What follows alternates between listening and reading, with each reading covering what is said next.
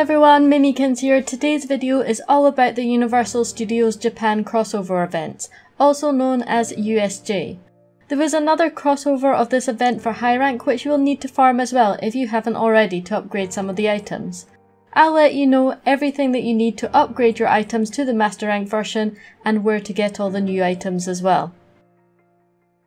The first Master Rank quest is USJ Ballet of Frost. This is a fight against a Frostfang Barioth.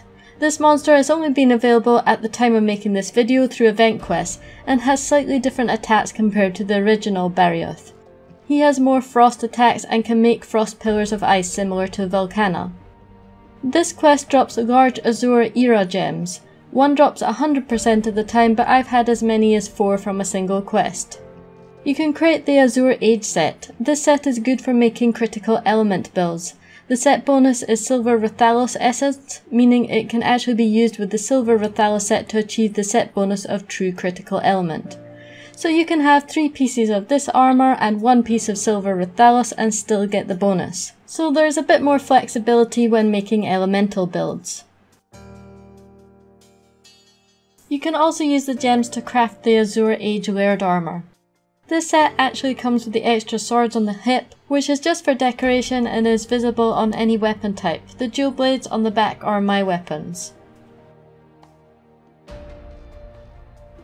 Dee would also like to let your Palico know about some of the latest fashion available in the new world. This Palico outfit was available before but only had a low rank version, so it's nice to see it having a master rank upgrade. It also requires Azure Star Shards, which can be obtained from the high rank quest Gold Star treatment. You can also get the Azure Dragon Dance Plus Master Rank Longsword.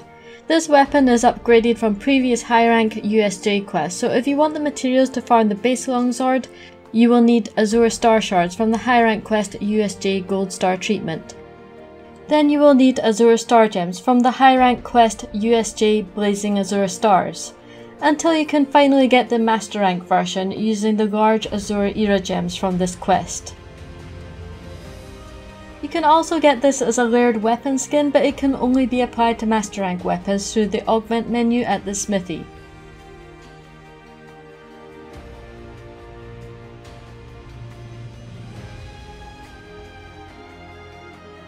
You can also upgrade the Azure Era Soaring Dragon Bow Plus to its final stage. I will cover where to get the layered weapon skin and the base weapon shortly. The second Master Rank event quest is USJ Shine On Forever against the Velkhana in the Supply Cache Arena. This drops Azure Era seals, one is dropped 100% of the time but I've had 5 from the same mission. You can craft the base weapon for the Azure Era Soaring Dragon Plus bow, which is the bow I mentioned earlier. To craft this as a layered weapon design, you'll need both Azure Era seals from this quest, along with large Azure Era gems from the previous quest, a Ballet of Frost.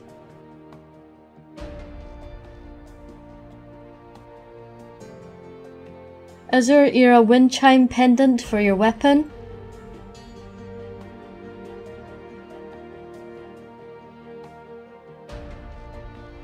the Azure Era set for your Palico. It does have higher stats than the previous Palico set, but Dee only ever looks at style when picking her outfit, so I ended up farming everything for her anyway.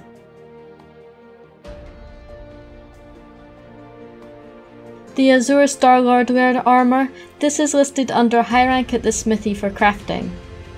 You'll only need the seals along with materials found in the game at any time. On top of all this, you can also unlock a new guild card background and pose. You can admire the fireworks with your faithful Palico.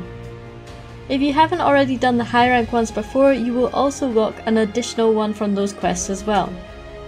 I hope this helps you get everything that you want from the event while it's up.